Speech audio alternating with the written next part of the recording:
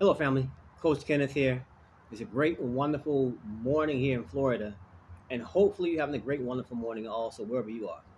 Um, kidney disease. Kidney disease is one of the major health factors in the United States today.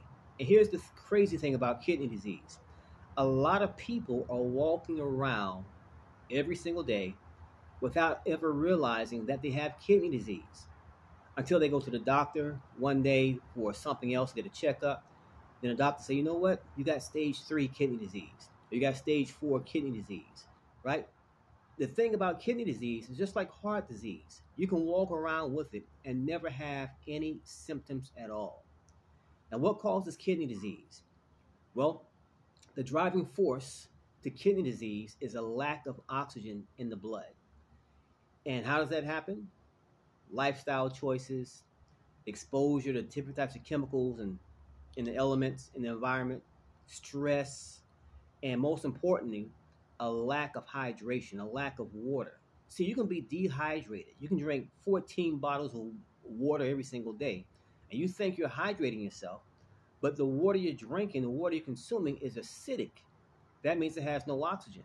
So you're drinking, drinking, drinking, but you're not hydrating your cells, not hydrating your body, and you still are in a very acidic state. Acidic just means lacking oxygen, right? So, how do you become more alkaline? How do you become more oxygenated? How do you how do you drive oxygen to your cells and most importantly into your blood? Well, the best way to do that is by eating an alkaline or electric diet, electrical diet and those foods are primarily primarily fruits, vegetables, plant-based foods, things that grow from the earth. See, whenever you consume meats or dairy or meat byproducts or eggs, anything of that nature, you know they have these nutrients and minerals, but but what they're lacking, they're lacking two of the most important nutrients that your body needs, two of the most important nutrients that your kidneys need. That's oxygen and that's water, right? Think about it. What happens when you cook fried chicken? what happens when you, when you cook, cook a piece of steak? What happens when you fry some eggs? Right? What happens when you drink some milk? These foods have no oxygen. And if there were oxygen in it beforehand, the only time oxygen was in the foods, those meat based foods, was when that animal was alive. Right? That's the only time. The only time they had water, right, water the body needs to hydrate itself was when those animals were alive, when those animals drink water themselves. But when you prepare that food, prepare that that meal, now you're you're, you're devoid of oxygen, you're devoid of water. So now you can't oxygenate, oxygenate your blood, your body, and you can't bring water, it can't hydrate your cells. So now you're eating foods that are deprived of the two most important nutrients that the body needs. Now, where do you get these nutrients from? Only from raw plant-based foods. That's fruits, vegetables, seeds, legumes, things of that nature, things that grow from the earth. And by consuming these things on a daily basis, you're driving or you're, you're absorbing oxygen straight to the bloodstream. And that's how you get your breakthrough by eating oxygen and water rich foods. Now, when you eat when you eat meats, a lot of meats, drink a lot of dairy products, it puts a lot of stress on your kidneys, a lot of stress in your organs, period, because your it, it doesn't have the oxygen, doesn't have the water, right? And that's what your kidneys need, particularly. So your kidneys have to work extra harder to pull the sodium out of these foods, right? The detox, to, to, to get rid of the uric acid out of the system. And when that's not done properly, one thing that can develop from your kidneys being strained or not properly, no, not not effectually putting effectively putting it putting put, pulling the salt, the sodium out the body, right, or getting rid of that uric acid, you can develop gout, right? You can develop kidney disease, have kidney damage, right? Kidney failure. And you can literally walk around having stage one, stage two, stage three, stage four kidney disease without having any symptoms at all, without feeling any pain, right? Until again you go to the doctor and doctor say you know you got stage three or stage four and now the next thing they're talking about is putting you on medication or possibly putting you on dialysis which is some place you never want to go in the first place. So, in order to reverse kidney disease, you want to increase your plants, increase the plant foods that you're eating, your fruits, vegetables, legumes, and keep them in a raw form, right?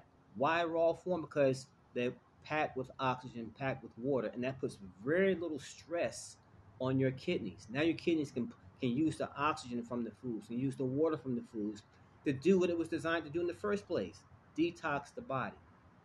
Right? So even people, you know, they, there's a diet that uh, is called the kidney diet, the kidney detox diet that some medical doctors put their patients on when they have kidney disease. Right? The, the those diets are not the greatest because they they're not solely plant-based foods. They have a combination of meats, meat byproducts, right? And that's what caused the kidney issues in the first place. So this doesn't help reverse the kidney disease, right? Or keep you from having kidney failure or keep you from being put on dialysis. What this does is a gradual decrease in function of your kidneys that eventually eventually leads you to being put on dialysis. So in order to reverse that, you've got to go plant-based, raw plant-based, right? And that has literally helped clients, customers of mine, reverse their kidney function, improve their kidney function, and bring them away from kidney uh, from dialysis. And the doctors are amazed, have been amazed by it, asking them, "What did you do?" Right? Because at one point you were on the road to being put on dialysis. Now you no longer need dialysis. So the best way to defeat kidney disease to prevent kidney disease, prevent kidney failure, is to go plant based. And that's the most powerful, powerful diet that you can ever have. And eliminate as much meats as much as possible. Eliminate as much uh, meat byproducts as much as possible. Right? And that's how you win. So if you want to find out more information or you want to get my kidney disease or kidney reversal plan, comment below on this video. Share this video with someone you know who might have kidney disease or might even be on dialysis, right? Share this with them. And this plan not only works for people who are on dialysis, but also works for people who have uh, high blood pressure or have type 2 diabetes, right? Even type 1 diabetes, because it work. It, it's all hand in hand, right? When the person has kidney disease or have high blood pressure for a long period of time, that often leads to kidney disease or kidney failure right? High blood pressure, diabetes, kidney disease, they work together, right? It's like a domino effect. So this plan works for all of the above. So if you want to find out more, again, find out more information, comment below on this video. Uh, depending on where you're watching this, whether you're on Facebook, whether you're on TikTok, whether you're on Instagram, comment below on this video or inbox me, and I'll talk to you soon. Let's keep winning.